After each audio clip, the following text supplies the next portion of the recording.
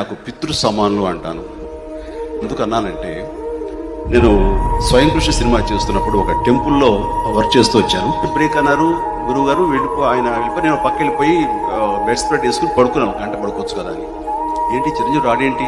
తను తినట్లేదండి అని. అదేమిటిది? తిండి తినకుండా వర్క్ చేయడం నేను ఎలా చేయించుకుంటాను? ఆకలితో ఉన్నవాడితే తనకి అలవాటేనండి నో బలేవుడే అంటూ ఇప్పుడు నిద్ర లేపకండి అంటూ పెరుగను ఆయన చేతితో స్వయంగా కలిపి చక్కగా అది పెట్టి ఇది నేను తిందండి మన ఇచ్చినట్టు నేను పెట్టాను నేను కలిపి నేను చెప్పండి. దాంట్లో పెరుగనం కాదు నా ప్రేమను కలబోసే అని చెప్పండి. ఎందుకు తిండో చూస్తాను అన్నారు. అది కంచి టెంపుల్. ఆ టెంపుల్లో వాళ్ళు నాకు వచ్చి రెడీ రెడీ అని లేస్తుంటే ఒక నిమిషం విశ్వనాథ్ గారు పెరుగనం పెట్టారు తినమని నేను తిన్న కదా ఆయన అన్నారు. అనగానే నాకు ఒకసారి నా తండ్రి నాకు కల్పించినట్టుగా అనిపించింది. సాక్షాత్తు ఆ గుళ్ళో శివుడు ఎందుకన్నా పస్తులు ఉంటావు తిన్నానా అని ఈయన ద్వారా అనిపించడం అనిపించింది. ఇట్ వాస్ సో ఎమోషనల్ అది ఒక ప్రసాదన తిన్నాను తప్ప ఒక పెరుగనలో నేను తినలేదు.